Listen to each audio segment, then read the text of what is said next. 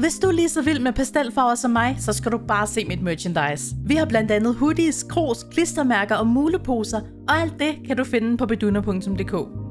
Det er endnu en gang tid til Dress to Impress, og jeg har lige deltaget en runde, hvor jeg overhovedet ikke vandt, men jeg synes faktisk, det blev et ret cute outfit. Men det er et outfit, som jeg overhovedet ikke kommer til at kunne bruge igen i dag, fordi dagens udfordring er, at jeg kun må være en mand. Sådan lige på stående fod ved jeg ikke, hvordan man er en mand, men jeg håber, vi finder ud af det. Okay, er det herover vi gør det? Vi, vi putter bare mandekroppen på. Okay, det var jo nemt, Åh, Oh, wow.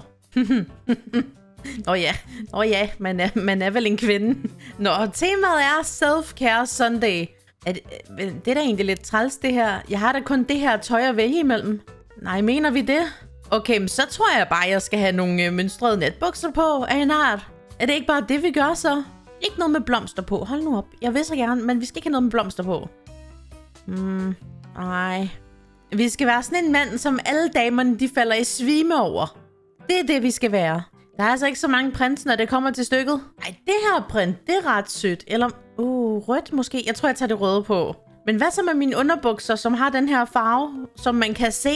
Kan man ikke ændre farven på dem? Hvorfor kan jeg ikke ændre farven på mine underbukser? Altså, hvis man kan se dem, så burde man da... Nå, måske det er en del af bukserne. Det var en del af bukserne. okay, fair nok. Oh, det var noget andet. Den der, så bliver de bare lyserøde. Uh, ja, jeg vil gerne have sorte underbukser på, så sådan lidt, uh, lidt grålige sorte. Skal vi ikke lade være med at tage tøj på på overkroppen? Altså, jeg kunne lige forestille mig sådan, at det uh, er der lige noget, der tiltrækker damerne. Så skal, mm, altså, vi kan jo ikke have, altså, vi kan jo ikke bare nøjes med at have det her på, vel? At vi kan selvfølgelig også godt, altså hvis vi ville have en fodbold, som er en basketball, så ville vi også godt kunne det. Der er jo også accessories, ikke? Er der egentlig ikke nogen... Jo, der er også VIP-ting til herrer. Der er den her, som går igennem underbukserne.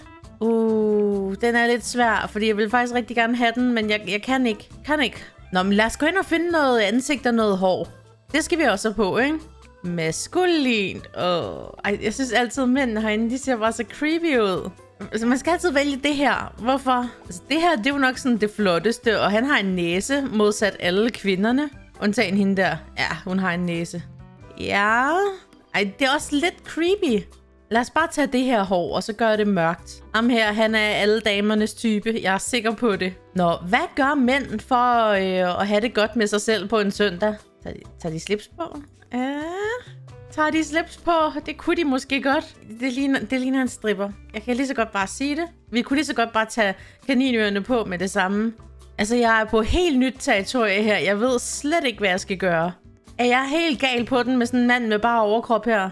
Der er jo ikke noget herover vi kan bruge, altså... Hvad sker der, hvis man prøver at tage dametøj på? Åh oh, gud, den der er der også til mænd.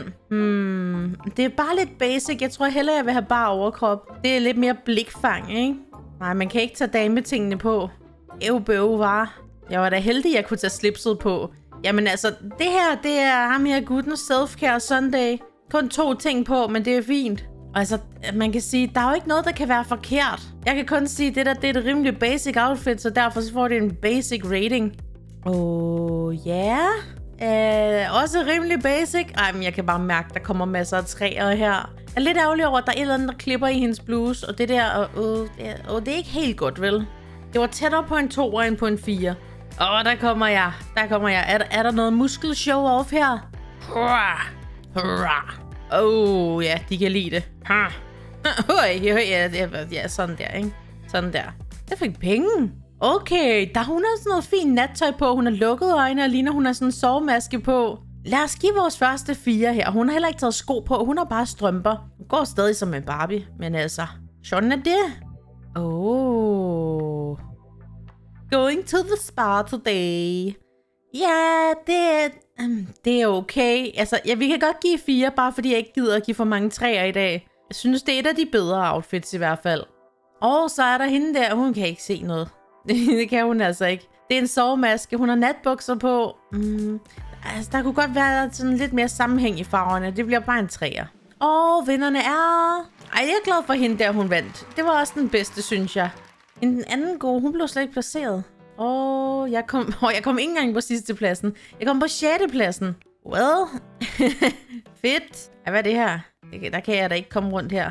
Jeg synes, det er mega fedt, der er sådan nye opbier for hver runde. Det, det er noget fedt, de har lavet der, ikke?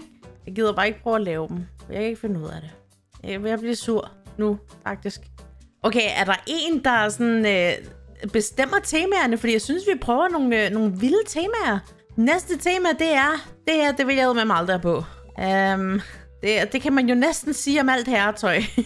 Men de ved jo ikke, at jeg ikke er en mand. Det ved de jo ikke. Men jeg ikke fordi, jeg har så meget at vælge mellem. Altså, jeg kan ikke så godt lide den her trøje.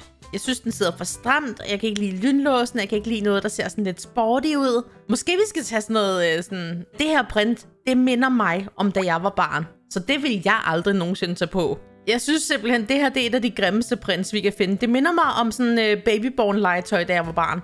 Det, det skal vi bare ikke have. Ved I hvad, jeg tror faktisk lige, vi gør det. Vi kopierer lige den her farve her, og så bruger vi den igen. Bom.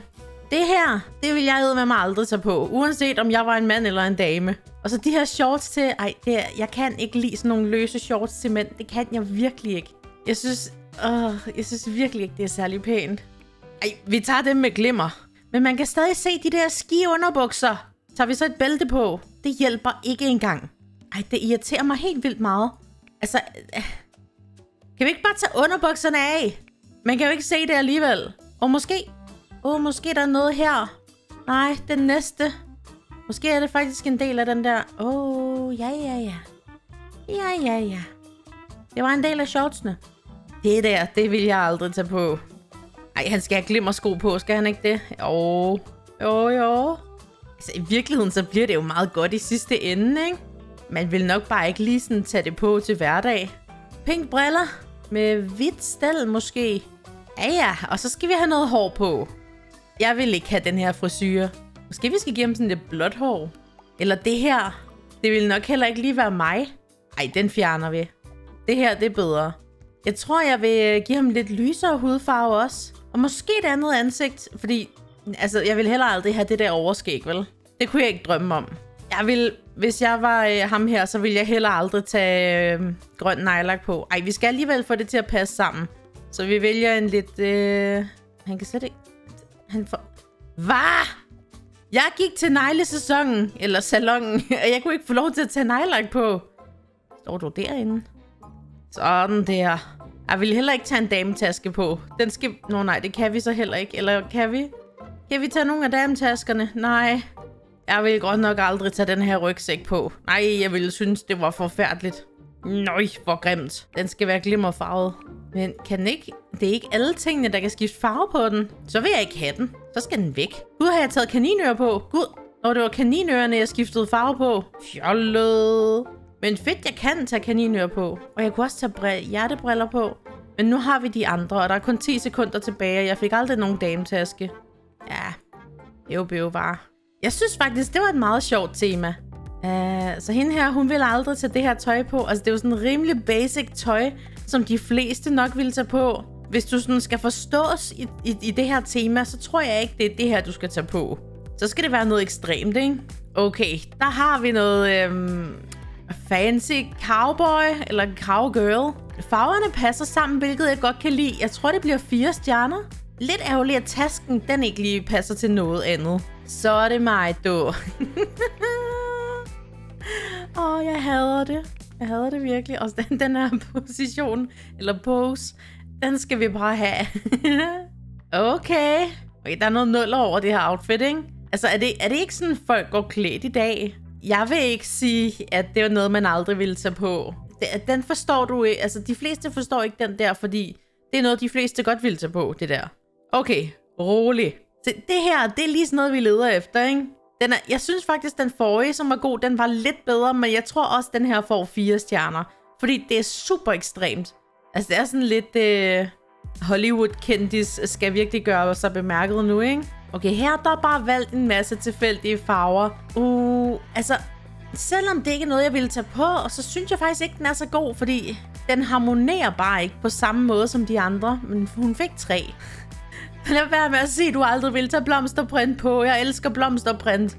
Øhm, jeg tror ikke rigtigt, jeg, øh, jeg viber ikke med den her. Fordi det er igen noget ret basic tøj, som de fleste godt ville kunne finde på at tage på i en eller anden sammenhæng. Okay, det her, det er lige mig. Altså, altså det er lige før, jeg vil sige, det her vil jeg godt tage på, men det vil jeg jo nok ikke. Fordi jeg kan jo ikke lide at gøre væsen af mig selv på den måde. Jeg vil ikke... Altså, jo, faktisk, altså... Sådan, hvis jeg skulle til et eller andet show, så ville jeg godt kunne finde på at tage det på til sådan lidt... Altså, bare for at, at skille mig lidt ud. Jeg synes, det var super fedt. Hun fik i hvert fald fem stjerner. Og det her, det kan... Øhm, jeg synes, farven på den her er lidt mærkelig, men jeg synes godt, den kan få fire. Kan den faktisk godt. Mega fedt tema. Det synes jeg faktisk er et af de fedeste temaer, vi nogensinde har prøvet det her. Og vinderne er... Nej, hun kom kun på tredje pladsen. Ej, der skulle vi lige have byttet om på dem her, ikke? Jeg kom på 8. pladsen ud af 9. Bah, siger I til mig, at I gerne vil have det her på, eller hvad? Også overskægget. Skal du have overskægget? Du tager det bare i næste runde, du. Okay, det kan vi godt gøre lidt bedre, ikke?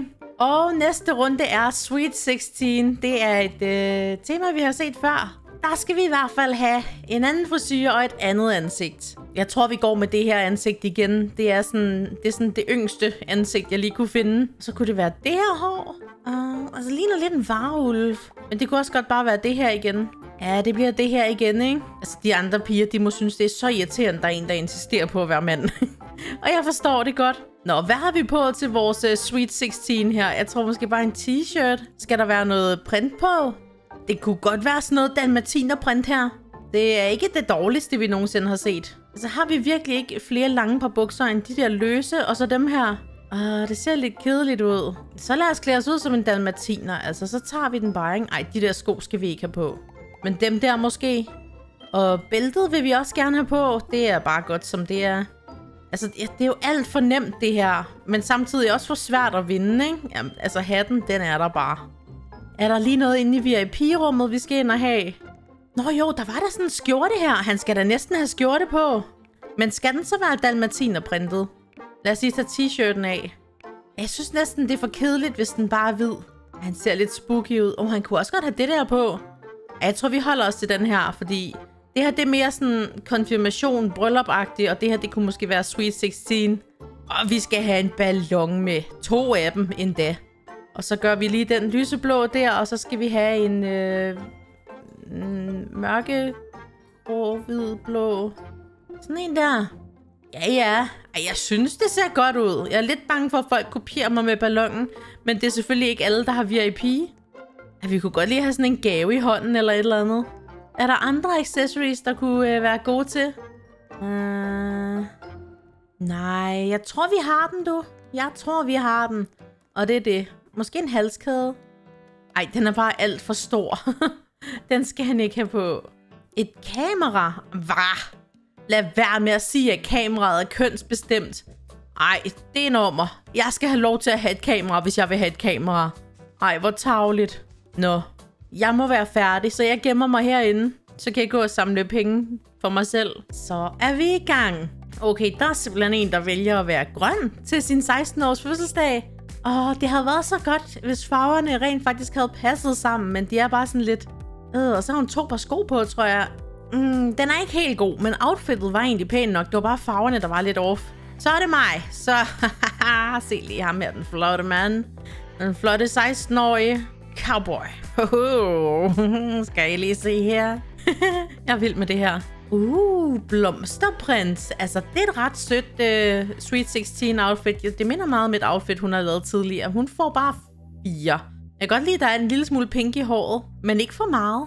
Ej, ej, okay, sjovt med det der print på nederdelen. Hmm, jeg vil næsten sige, det er en 4, men der er noget med farverne, der bare gør, at det er lidt off for mig, synes jeg. Så det bliver en 3'er. Og så er det sådan der, man vælger at se ud på sin 16-års fødselsdag. Så Pink, jeg vil overhovedet ikke have gættet, at det var din 16-års fødselsdag. Altså, jeg tror, det bliver to stjerner. Så er der en, der har valgt at klæde sig ud som en fe. Ja, yeah altså den er ikke helt gal. Det bliver fire. Åh, oh, der er ikke flere med. Åh, oh, vennerne er... Ej, hvorfor vandt hun? Hun var ikke sådan rigtig... Altså, vi er kun seks mere, jeg kom på sidste pladsen. Jeg gider ikke mere. Det er ikke i orden, du. Men jeg tror, jeg vil konkludere, at øh, det er lidt svært at være en mand i et samfund fuld af kvinder. Jeg synes ikke rigtigt, man bliver stemt så højt. Men, men det, altså, nu har jeg kun prøvet at være på en server. Øh, så måske det havde gået bedre øh, på en anden server. Jeg ved det ikke helt. Men hvis du har en udfordring til mig, så skriv lige som en kommentar, og ellers så skal du have tusind tak, fordi du har set med. Ha' en mega dejlig dag, og så ses vi forhåbentlig i min næste video. Hej!